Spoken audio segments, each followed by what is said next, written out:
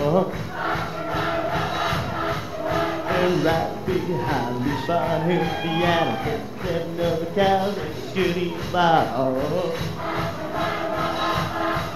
Well, you back out what you thought would do it, uh-huh.